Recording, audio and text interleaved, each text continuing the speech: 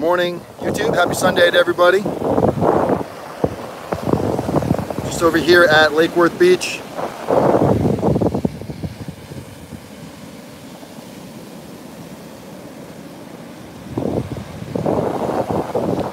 We're preparing for a potential hurricane. Maybe, maybe not. Hurricane's definitely coming. Not sure if it will be here or not. That's the question. They do have the beaches closed. Well, not closed to walk on, but you can't drive up onto the beach. So I parked across the bridge and walked over to the beach.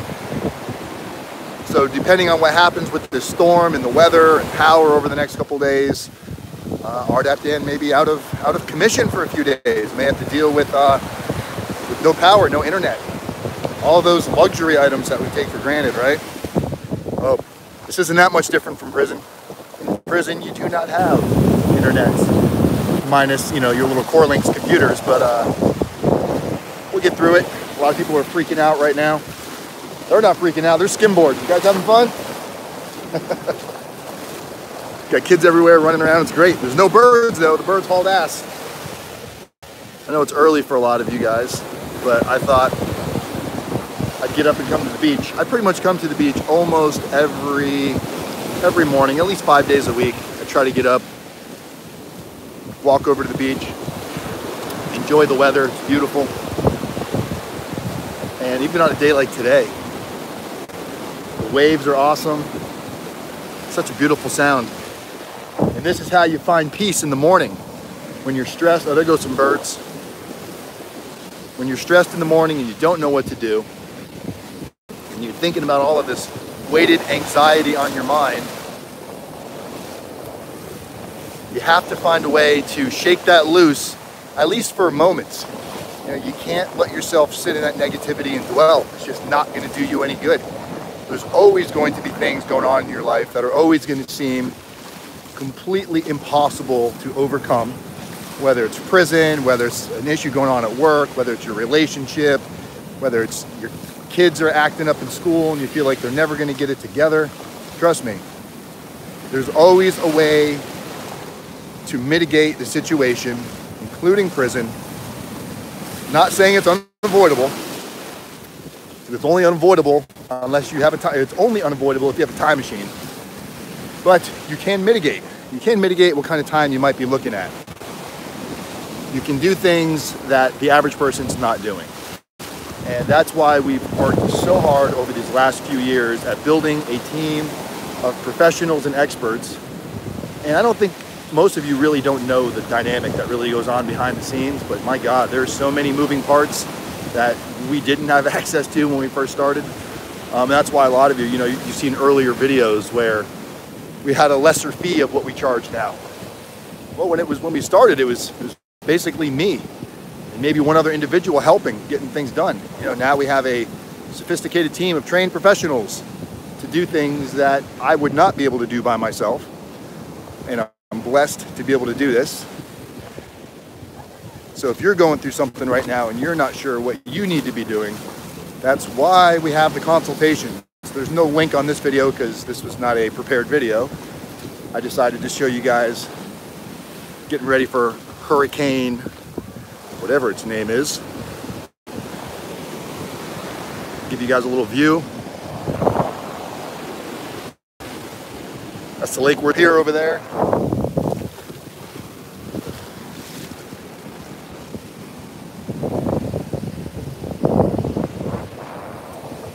But most of you have my cell number. If you don't have my cell number, 509-434-4695. Feel free to shoot me a text message. I will respond with a quick answer and also I'll send you a link for a consultation link where you can put yourself on the calendar.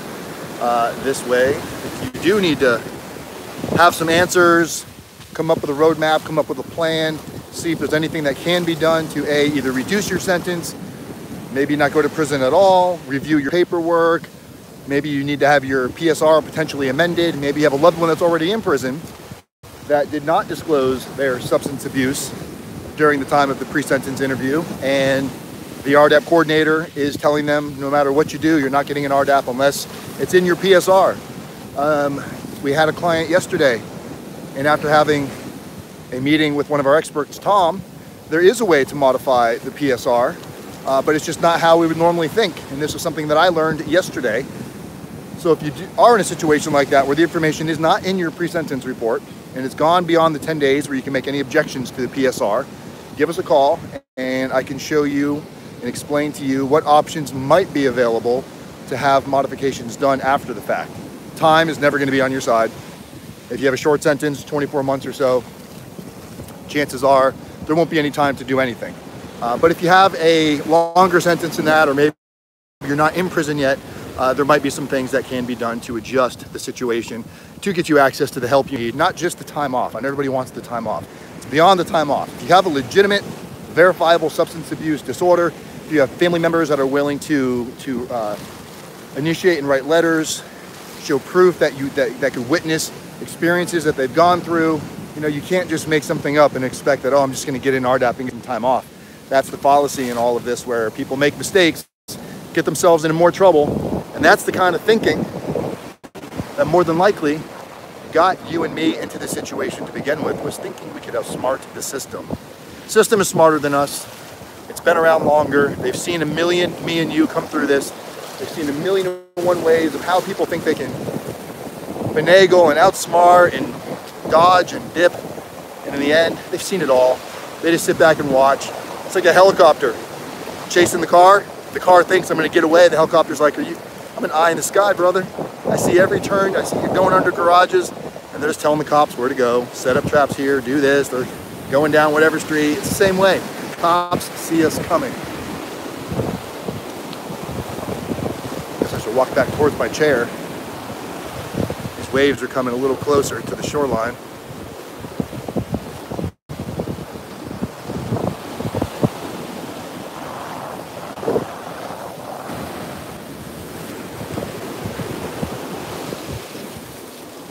I just realized I'm holding the phone long ways instead of uh, horizontal and YouTube prefers the vertical versus the horizontal.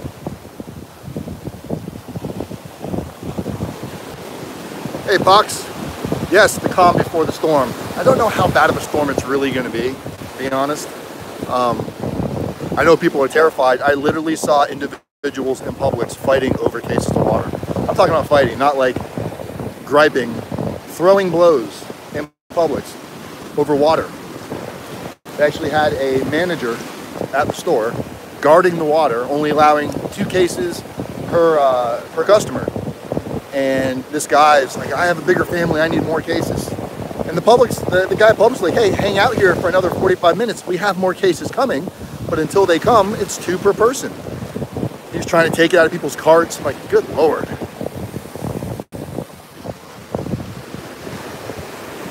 Have I ever seen the rain? I'm not sure if I read your comment right. Um, I've lived in Florida most of my life. I know most of you know me from Washington because that's where I lived when I was released from federal prison. But I've lived most of my life in Washington. I've been through multiple hurricanes. Um, you know, there's been some damage. You know, most of you probably heard of, or at least heard of Hurricane Andrew back, I think it was 1992 or 93. Devastated Homestead, like leveled it, made it look like a third world country.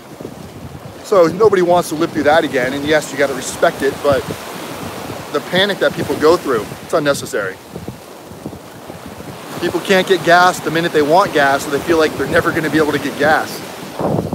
Every morning I get up, well not every morning, the last two mornings, I got up uh, about 4.30, 5 o'clock, took the cars, went and filled them up with gas, and there's gas almost at every gas station early in the morning.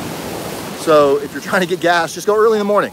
Get out of your comfort zone, wake up, don't sleep in that day. Don't make excuses. So I just wanted to share a little this awesome view with you guys. This is why I came back to South Florida. Hurricane or no hurricane, this is my home. I love it. I'm gonna stick around. Hey, tomorrow. That's right. You're beaching tomorrow. All right. Well, that's that's my beach. Right there. Not a whole lot of people out here today. We got a couple kids boogie boarding. Got some people hanging out.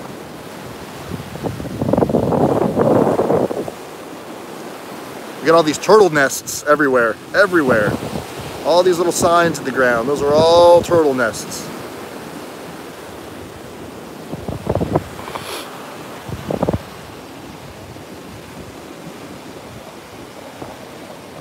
Got your boogie boards ready. I know you do tomorrow. Of course you do.